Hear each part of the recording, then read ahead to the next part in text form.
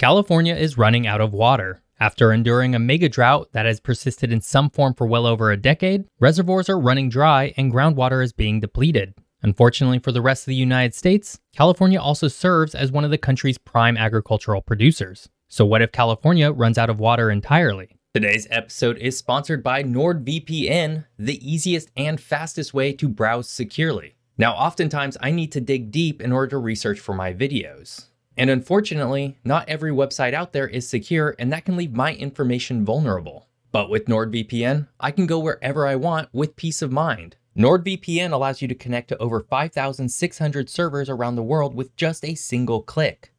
And if that's not enough, they also have an auto connect option to ensure that you are browsing safely and securely. And with the added feature of threat protection, you're double secure. Beyond security, NordVPN servers are simply blazingly fast, allowing you to surf anywhere you want with no speed degradation. Are you traveling abroad but don't want to miss out on the latest episode of your favorite TV show? NordVPN's got you covered. Plus, as part of this sponsorship, you can get four months of NordVPN for free with a two-year plan. Just visit nordvpn.com slash wigeography to get in on this deal. And if you end up not liking it, simply cancel within 30 days and you can get a full refund. So what are you waiting for? NordVPN provides the most comprehensive security of any VPN platform out there. Once again, visit nordvpn.com slash wigeography to take advantage of this exclusive offer.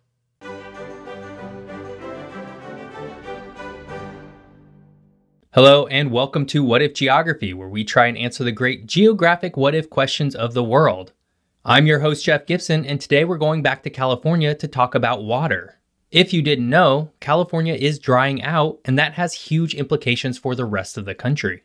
But before we get into today's episode, if you enjoy my What If Geography channel, be sure to check out the What If Geography podcast where we dive way deeper into the subjects that you love. Our first episodes are on this exact same subject. The podcast is a lot of fun to make, and from what I can see, people seem to enjoy them. You can listen right here on YouTube, Spotify, Apple Podcasts, or wherever you get your podcasts. California is an eclectic state geographically, and it hasn't always been as dry as it is today. While it is home to famously dry locations such as the Mojave Desert, Death Valley, and Joshua Tree National Park, it also has lush forests, snowy mountain peaks, and many large rivers and it's home to the Central Valley, which has some of the most fertile and bountiful agricultural land in the world. It's for this reason that California drying out is so scary. But while it might seem like we've been hearing about a drought in California for a long time, it's really only been in recent decades that it's started to really affect overall water access. And this is mostly due to the fact that California has some of the most complicated, arbitrary, and downright confounding water rights laws. These laws were also created during an unusually wet period of California's history. So not only did California hand out water rights with obscene amounts attached, but they also did it during a time that simply wasn't ever truly reflective of California's water table. And much of the use of the water comes from agriculture. Agriculture is a huge part of the California economy due to the Central Valley being home to some of the most fertile soil in the entire world. Beginning in the mid 1800s, California began to aggressively irrigate its farmlands. In 1850, there was almost no irrigation whatsoever, but by 1899, over 12% of all of California's land had some form of irrigation. Of course, today, almost the entirety of California's agriculture is irrigated in some way. But again, none of this was really a problem during the time as California was going through an unusually long, wet, and rainy period. Between 1864 and 1924, there was not a single recorded drought in the entire state of California. From 1924 on, droughts became a much more frequent occurrence for the state. Between 1976 and 2017, California recorded four prolonged droughts, with the latest being the longest and most severe drought to date. During this drought, California began enacting some pretty extreme restrictions, such as instituting a mandatory 25% reduction in water use.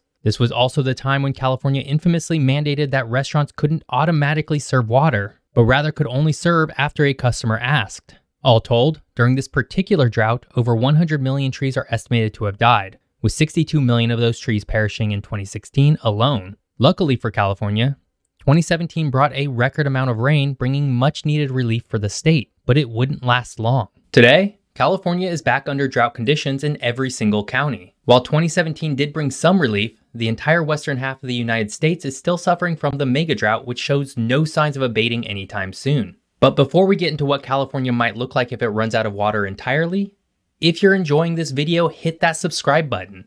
That way you'll be notified every time I release a new geography video.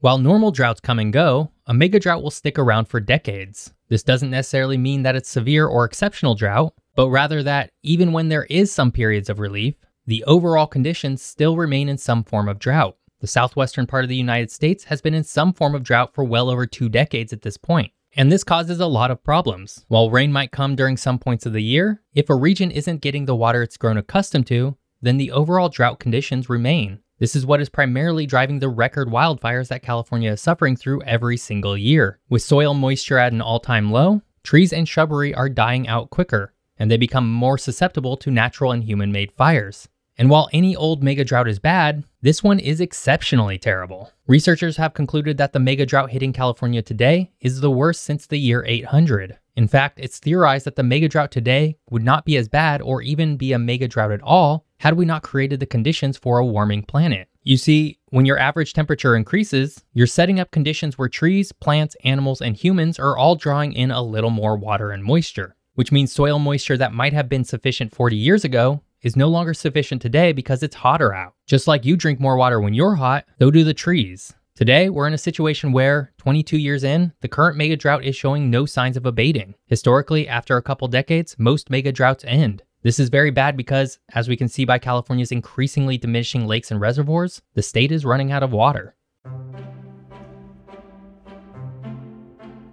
Let's not mince words here. California is in a very bad way with respects to its water table. Lake Oroville, California's largest reservoir, is currently sitting at about 55% of its average fill for this time of year. And with lower precipitation expected through the winter season, it doesn't appear that there will be any dramatic changes in rain for the remainder of the year. And with the Colorado River also drying out, which supplies Southern California with much of its water, California could be looking at a dry and dusty future, which would not bode well for the rest of the country. You see, California currently provides most of the United States food. That might seem odd, given that much of the country is, in fact, farmland, but California has a uniquely rich soil and climate where it can grow basically anything at almost any time of the year.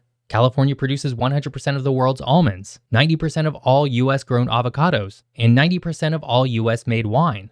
All told, the state is responsible for the vast majority of the fruits and vegetables you eat. If California ran out of water entirely, produce prices would skyrocket as other regions of the United States would be forced to try to adapt. But beyond agriculture, California cities would have a very serious problem. Today, California is home to 39 million people.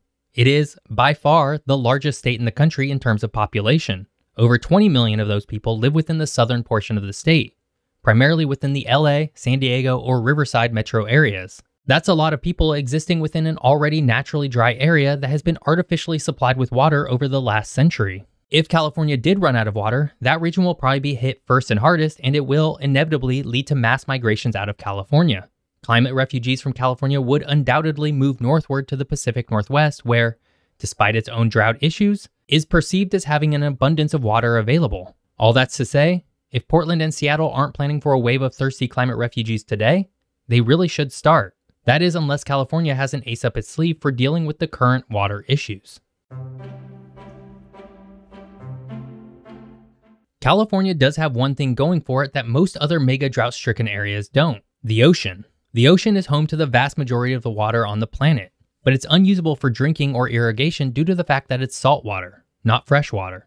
But there's now a proven method for extracting salt and converting ocean water into fresh water desalination. Desalination is not a new concept, and in fact, California currently has 12 desalination facilities already in operation throughout the state. Combined, these plants pull in millions of gallons of water to supply a very thirsty state. One such facility, the Carlsbad desalination plant supplies over 8% of San Diego County's total water.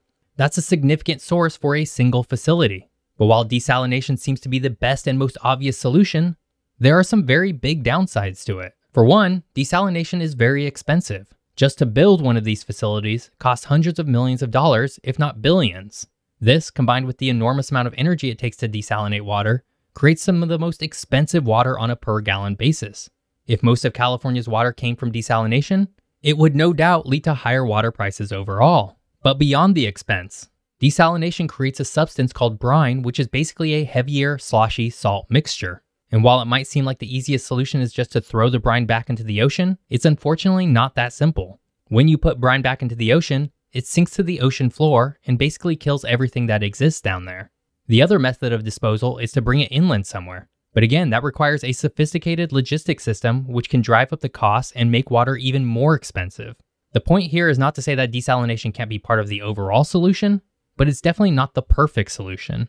California will need a multi pronged approach to its future around water, which includes desalination, but also with a heavy dose of conservation. The United States needs California to have an ample supply of water. California simply provides too much of the country's agriculture to let it dry out entirely. Despite this, California has some very serious decisions to make about how it will manage the water it has left. And while desalination seems like the perfect solution, at the end of the day, conservation is always the best option. I hope you enjoyed today's episode on California's current water issues. If you did, please subscribe to my channel. And if you want to watch more of my videos, you can do so here. Thanks for watching. See you next time.